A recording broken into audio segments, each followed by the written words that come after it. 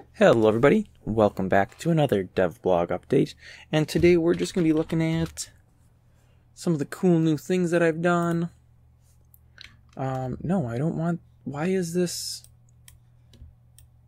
I don't want it full screen, smaller please, thank you. Alright, so let's go to the beautiful, beautifulness that is this icon, this needs to be redone, this looks complete garbage. Um, but yeah, let's go ahead open up devblog 02. Um, you know, completely do not look at what you just didn't see there because it doesn't matter. It's not important. It doesn't exist. Um, I used to have this whole really nice thing built. And then I changed the names of every single object. So everything is gone. So uh, I guess we'll go ahead and take a look at this. These are the some of the new uh, nodes I have added to the spawn mod. So we have again this is this whole mod honestly if you're not planning on using this as a server you may want to just delete from the subgame because none of this stuff's getting craft recipes it's all just stuff that I'm gonna put in manually.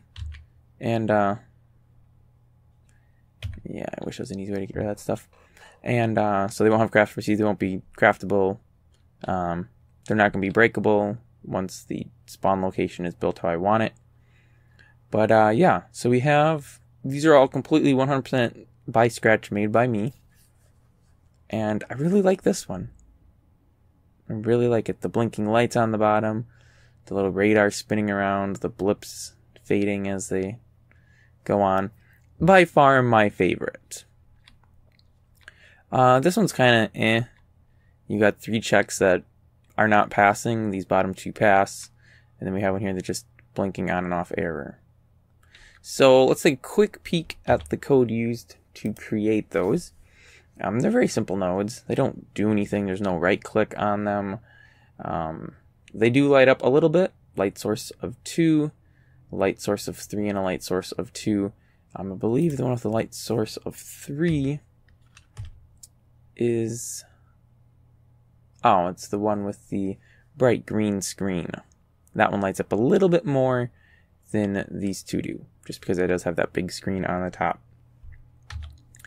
And uh, yeah, they're just plain simple, and they have three textures. There's a texture for the face, which is the same on all of them, which I'm not 100% happy with. That'll probably end up changing, as will so much of this. Texture for the sides and the backs, let me go ahead and remove that one, is all the same, and then there's the top texture. So there's three textures per node here, and you'll see we have the floor is actually the texture we're using for the sides and the back. The top is an animated one, so just the name of the file and then animation, vertical frames because they run up and down, aspect width and height, they're 32 by 32 pixels, and the length is how many seconds elapse between frame updates. So, you will see here on console number 3, we have a length of 4, whereas the other two are both lengths of 1. So the one that happens every 4 seconds, theoretically, is this one here, blinking error. And this one updates once a second, and that one changes once a second. Which, honestly, that I might change to be two seconds. Because that looks like it's maybe blinking just a little too fast. Yeah, I think that's better. And then this one is every second. So that's pretty neat. Um, the other thing I got added in is the lights. I should have just left this running. Um, and this is a pretty creative. Oh, I got so much junk can't drop unknown items. Okay, what you can do is use the pulverize. Pulver. Oh, why can't I spell? Yeah, I know that's wrong. Pulverize. There we go. And then whatever item is in your hand will be pulverized. And you can use the up arrow to pull up a previous command or chat message. I need to get some kind of an inventory thing where I can just clear inventory with a button. this whole player UI needs to be redone. This is actually pretty much just ripped straight from default. Minetest game. As in. So that needs to be changed, but that'll come in time. Give me spawn tube underscore light. I'm going to take five of those, and we're going to go ahead and do give me spawn light underscore bad. And I'll take five of those as well. These both use the exact same meshes and the exact same textures. And this is the bad one, which places and doesn't work. Mmm, and it's definitely a bad light. Whoa, it blinked on. Oh, and it's dead again. Oh man, I hate these bad lights. They're so annoying. Oof, ooh, it's on. Oh, it's so bright, my eyes. Ah, oh, dead again. So this is going to be for like some corridors in portions of the ship that are kind of like broken down and stuff. There'll be these bad lights which blink. And then there's the good light. So let me just place on the other side, which is always at full brightness. And now the neat thing about this is when you place the good light, it stays good forever. But the bad light, okay, so we're pointing at, you can see up on the top here, uh, wait, now you can see up on the top. We are pointing at spawn tube light bad. When this thing turns on, there we go. Oh, it was on for a second. It turns into the good tube light. Let me explain how that code works. So we register two nodes here. We have the tube light and we have the tube light, which is the bad one. And the good light has an on timer function, which basically when this position, which is the position of the node, gets the, I'll just call it the timer signal that executes this code. So when the timer, imagine an egg timer and it's got that little bell that dings at the end. When that timer dings, it runs this code. So it picks a random number between 3 and 15 and then starts another timer with whatever that length was and it sets the node to the bad light which is turned off. So this code here will never execute if you place this light out because there's nothing ever starting a timer other than the on timer. The bad light, however, on construct. So this is pretty much when it's placed in the world, when it's constructed, when that node be- begins its existence, more or less. It creates a timer that lasts for 10 seconds. So your first instance of the bad light will always be off for 10 seconds. And then when that bell rings, the timer runs, it switches the node to the good light, and it also starts a timer with something from 1 to 3 seconds as a random number. So the good light will be on from 1 to 3 seconds, and then it turns back to the bad light. And that's how that works. Pretty neat. Um, I like it. It's a nice effect. I've actually seen somebody else do something similar. I don't know if they were using um, timers or ABMs or what they were using to blink the lights on and off. There's, from what I've seen of it in the limited experience I had with it, um, it just looked like it pretty much blinked on and off once a second, or it would blink on for a second, then it was off for a few, and it looked like it just kept using the same time. I could be wrong. It was on a server, and uh, I didn't really like study the light to see how it was working because I really wasn't too worried about it.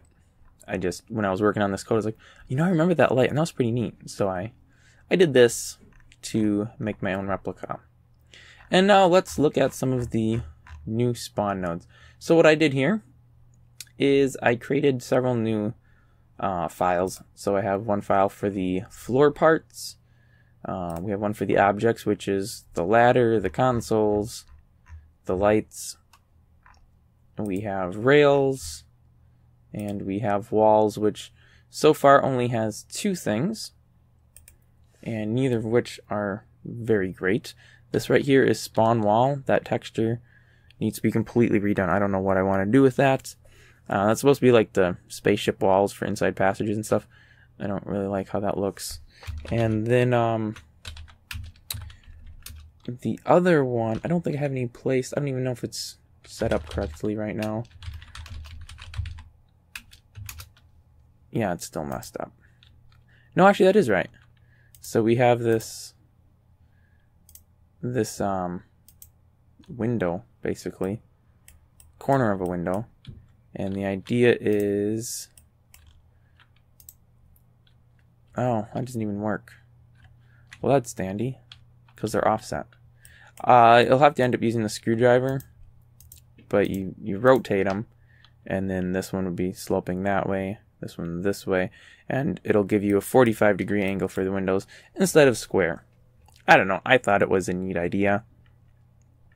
Uh, screwdriver mod I have not copied over yet, and it pretty much will just be a direct copy. I tried grabbing the um, creative inventory from Minetest game, but I kept getting dependency issues. So I was like, eh, you know what? I'm just gonna just gonna not have it. And you know what I'm gonna do? I'm going to create a new world. And just because I didn't feel like pulverizing every single item in my inventory.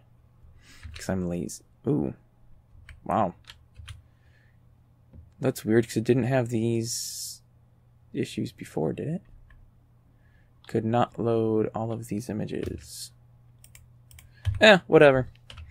There's a lot of work that needs to be done. Let's take a look at some of the the rails and the floors. So everything here uses a really weird naming system. Um, it's available in four colors. I believe in the last video I showed you guys the rails and some of the floor edges. I just did a little bit of touch-up work on them. So everything's working in the four colors now. We have... Oh wait, that's actually in this file. We have pink, green, blue, and yellow. And I made that as a global table for the mod because Rails uses it and the floors use it. And I didn't feel like putting the table in twice, which I could have done, but it's like, eh, why bother? So, let's try to get one of these. First, I'm going to need to do grant single player all, and then give me spawn. Okay, and the name for the rail is going to be a one letter color descriptor.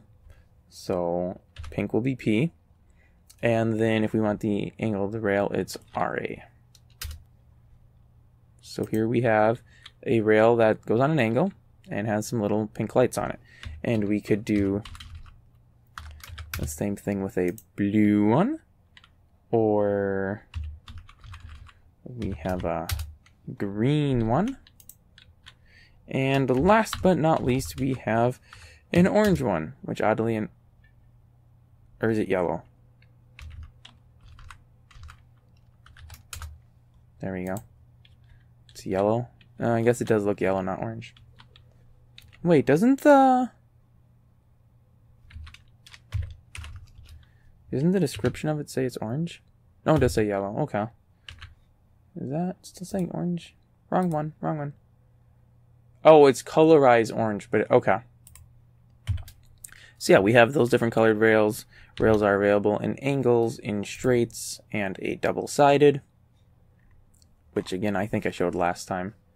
And the floors, the new thing for the floor is the ramps. Which, let me see, I really need to get that creative inventory setup working because it's annoying to have to keep typing all this out. Give me spawn ramp one. Yeah, and then we'll just do ramp two. Now this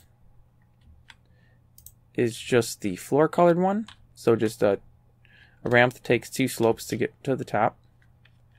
Uh, it's also available in colors, which uh, is here someplace. But again, the whole naming system's kind of screwy on this stuff. okay, so I want to do give me spawn. Um, we will do blue, and then we want a ramp top right. So it's R2R. R2R. And that gives me the top node with the line on the right. So let's go ahead and get the bottom. So we change the 2 to the 1. Okay, and then let's do a yellow. And let's do a left.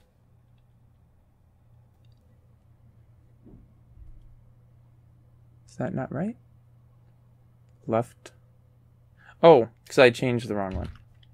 Again, this is why this needs to change. Okay, so that's ramp, and this is left here. And then we want to do the same thing, but change that to piece number two. And we will place that one there and this one here.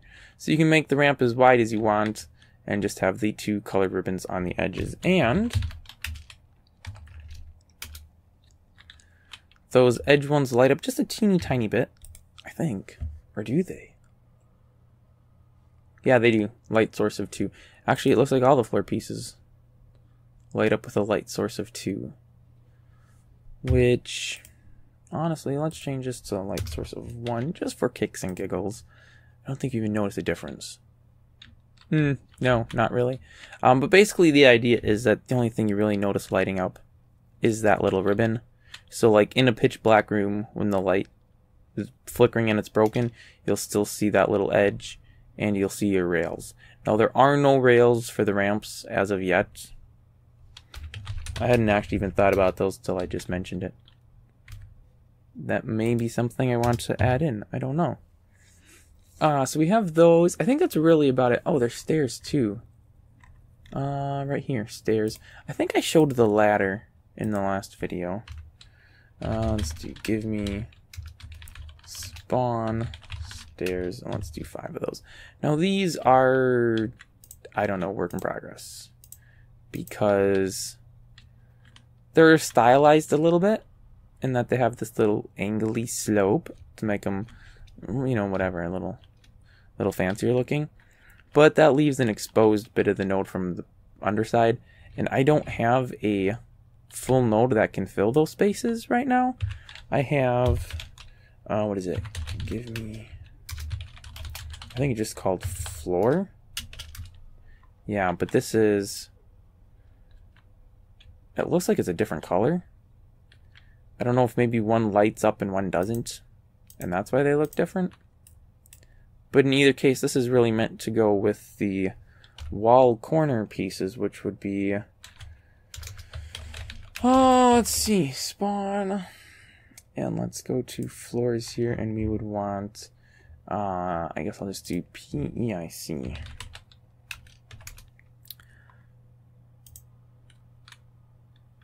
Inside corner. Yeah, so that's if you wanted to have this sticking out a little further from the wall, because your edge pieces have this slope on the underside. And this is the same thickness as the other node at the bottom, and obviously at the top. So it gives it a smooth running on the underside. But yeah, it doesn't really match up with that, so I don't I don't know exactly what my plan is. I could honestly take the stair and just make the mesh stick back. It's that tenth of a node or eighth of a node, whatever it is, and have it slope down the backside, and that would work just fine. You would potentially see some Z buffering issues where the two nodes intersect. I don't know. I don't know on that for sure yet. That's something I'm still kind of trying to figure out what I want to do with. And I think that's honestly about it as far as changes have gone. It was basically just kind of getting the spawn stuff here organized a little neater. I don't think I really added anything in. I did add uh, a license file, which basically is just all of the mods and then the code and the media licensing. So for the gamer file, that's pretty much ripped directly out of Minetest game from default.